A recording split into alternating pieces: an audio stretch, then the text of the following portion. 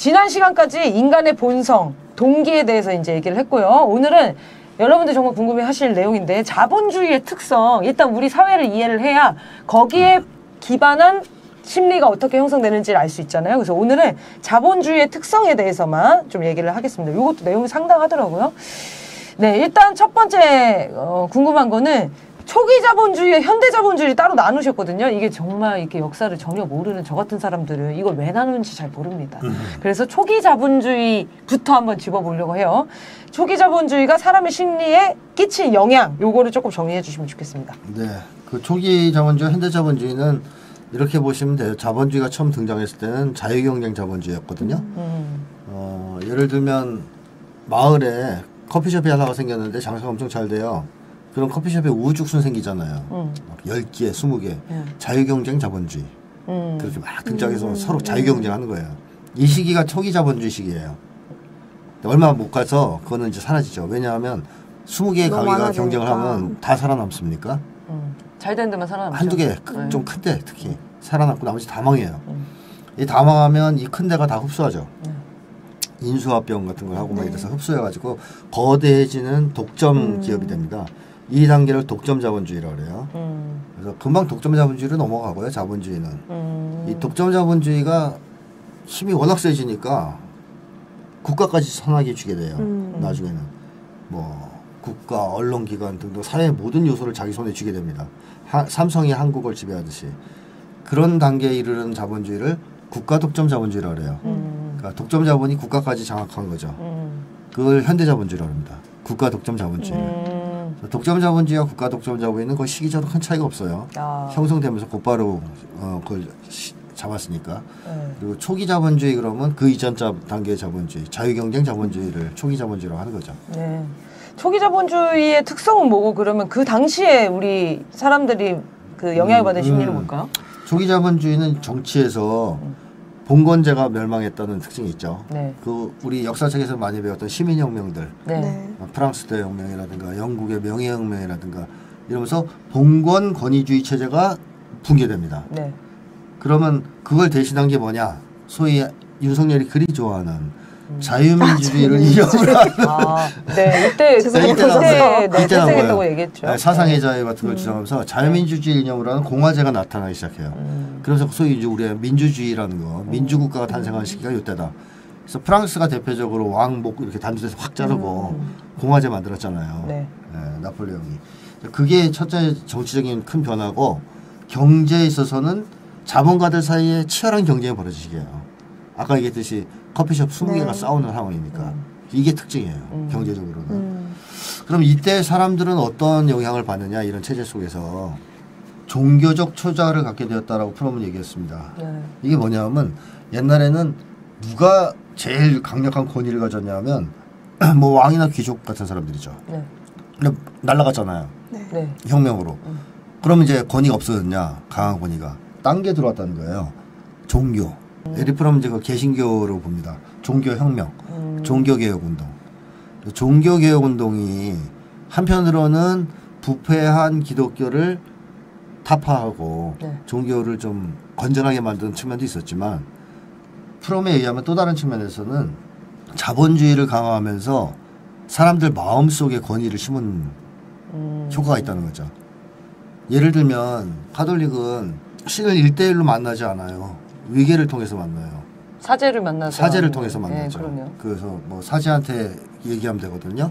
개신교는 집에서 일대일로 만나야 돼요. 어. 개인이. 그렇죠. 그러니까 훨씬 더 이제 에리프롬 비하, 이 비유하면 무섭다는 거예요. 음. 그렇게 느끼나요? 그렇게 어. 될수 있다는 거예요. 신현하고 단독으로 대면하니까. 신이 나를 바로 지켜보고 있다라는 그쵸. 생각을 하니까. 그렇죠. 아. 그래서 이 당시에는 이 종교개혁 운동할 때 종교 개혁 운동했던 이 주도자들이 뭐라고 설파하냐면 성실하게 일을 해서 근검 절약하고 저축을 많이 해야 된다. 아, 이런 얘기를 했어요. 그러지 않으면 천국에 못 간다 그랬어요. 어. 음. 저축을 많이 하지 않으면 천국에 못 간다. 근검 절약하고 성실하게 살고 저축 많이 하고 이렇게 안 살면 천국에 못 간다고 얘기한 거예요. 그게 이제 뭐 청빈주의 뭐 이렇게 나오는 건데 음. 그 얘기를 왜 했냐면 그 자본 축적에 도움이 돼서 그런 거예요. 음. 이렇게 사람들이 열심히 일하고선 절약해서 저축을 해야 자본이 형성될 거 아니에요. 음, 말은 그렇게 했지만 네. 자본을 그러니까 초기 자본의 형성이 중요한 시기였기 때문에 자본주의 초기라서 사람들이 저축을 많이 해서 그 돈이 자본가 쪽으로 모여야 되는 상황이란 말이에요. 네. 그래서 자본주의에 크게 공헌했다고 얘기합니다. 아. 그거는 어, 마르크스주의자만이 아니고 막스 베버 같은 사회학자들도 그 얘기를 하죠. 네. 어. 그 유명한 프로테스탄티즘의 윤리야 뭐 이런 게 있잖아요. 어, 어디서 들어본 것 같아요. 네, 책다 기억 못하겠어요. 제목을. 그게 그 내용을 다룬 거예요. 네. 그러니까 종교개혁 운동을 통해서 사람들이 신을 음. 만나고 신이 너희들 그렇게 하면 지옥 보낸다 그러니까 얼마나 무서워요. 맨날 그 저축하고 그래야 될 거 아니에요. 네. 그게 에리히 프롬 입장에서는 안 좋다는 거죠. 어. 어, 마음속에 감시자를 두는 거랑 똑같다는 거예요. 초자아를. 종교가. 종교가. 종교가. 그러니까 외적인 왕, 뭐 귀족은 사라졌는데 종교가 마음속에 들어 자기 음. 감시하는. 그래서 뭐 저축 안 하면 혼낸다든가 지옥 보낸다든가 음. 이런 상황이 돼버렸다는 인간이. 딱 자기 주체가 되지 못하고 더 불안해졌다는 거죠. 근데 여기 책에서는 이제 그걸 양심이라고 에리히 프롬은 야- 양심이라고 표현을 했잖아요. 음, 그건 양심의 초자아예요. 아, 초자로 봐야 되는 거다. 네, 그러니까 양심. 양심과 초자는 다른 거죠. 다른 거죠. 어, 어떻게 네. 다른지 좀 설명해 주세요. 초자는 그야말로 자기가 자발적으로 받아들이는 게 아니고 음. 무서워서 받아들이는 게 처벌받을까 봐. 양심은 내가 생각하기에 옳기 때문에 받아들이는 게 자발적으로. 음, 그래서 양심은 감시자가 아니에요. 친구죠. 음, 근데 초자는 감시자예요. 처벌자고. 그래서 뭐 초자가 마음속에 들어오면 무섭죠. 계속 자기 감시하니까. 음. 그 프로이트는 초자가 정신장애 원인이 된다고 얘기했거든요. 그 이유는 양심이 아니기 때문에 그런 거예요. 만약에 그게 양심이라면 네. 양심이 정신장애 원인이 된단 말인데 그게 말이 되냐고요. 그러니까요. 말이 안 됐죠. 네. 그래서 프로이트의 이론은 많은 비판을 받았어요. 아, 그때도. 네, 네. 그때 말고 이후에. 아, 이후에. 아, 사람들이 그때, 그때는 아니었겠죠. 뭐저 말고도 많은 심리학자들이 그건 지적을 했습니다. 음, 그 다른 건 초자와 양심 다른, 다른- 건데 다른 것이다. 양심이라고 표현하면 안 된다 안 된다. 게. 예. 적- 적절한 적절한 초자는요. 적절한 적절- 초자와 네. 적 절한 초자. 초자 이게 뭐 이제 너무 감시하지도 않고. 초자가 어쨌든 인간이 뭐 발달되기는 하는데 음. 이제 그러니까 프로이트에 의하면인 거죠. 음. 어쨌든 적절하게 인간이 그렇게 그 이제 구조가 기본적인 거니까 그러니까 누구에게나 이제- 있는데 예, 그 프로이트 이장 이론 다 음. 틀린 거니까 초자는 어, 좋은 게 있을 수가 없어요. 좋은 게 있을 수 없다. 강제에 의해서 들어온 건데. 음. 그러니까 그걸 자기가 봤을 때 이거는 처벌이 무서워서가 아니고 내가 볼 때 이건 맞기 때문에 그러기 때문에 받아들여야 되거든요. 음. 그 양심이잖아요. 이건 좋은 거지만 뭐 초자가 좋을 게 뭐가 있어요? 그러니까 이게 표현으로 봐도 초자아잖아요. 그러니까 나 자랑 자를 초월해서 보는 거잖아요. 시기야만 그러니까 일치가 안 되고. 프로이트 시기가 아버지 아버지. 그러니까 새로운 새로운 아버지인 거죠. 어, 가위 들고 막 거시기 자르려고 하는 아버지예요. 프로이트 이론에 의하면 프로이트 이론을 늘 저렇게 설명하셔가지고 너무 웃겨.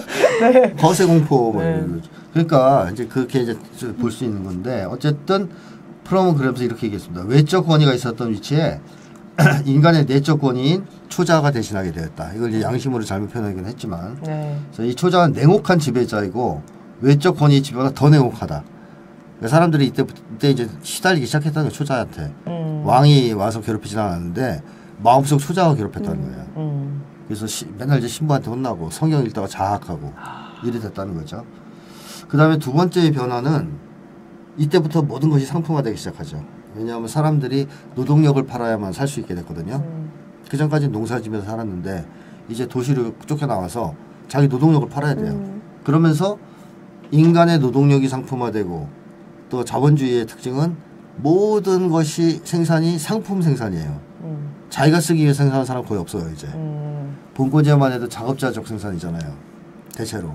그래서 옛날에 우리 조상님들이 집신을 지은 건 다 자기가 신으려고. 네. 음. 초가집을 지어도 자기가 살려고. 옷도 자기가 입으려고. 그러니까 상품 생산이 목적이 아니었는데 자본주의에 들어서면 모든 생산은 다 상품이에요. 상품을 목적으로 하는 거죠. 거기에 과정에서 전 상품이 다 상품화돼. 모든 게 상품이니까 인간도 상품으로 팔리기 시작하는 음. 노동력까지.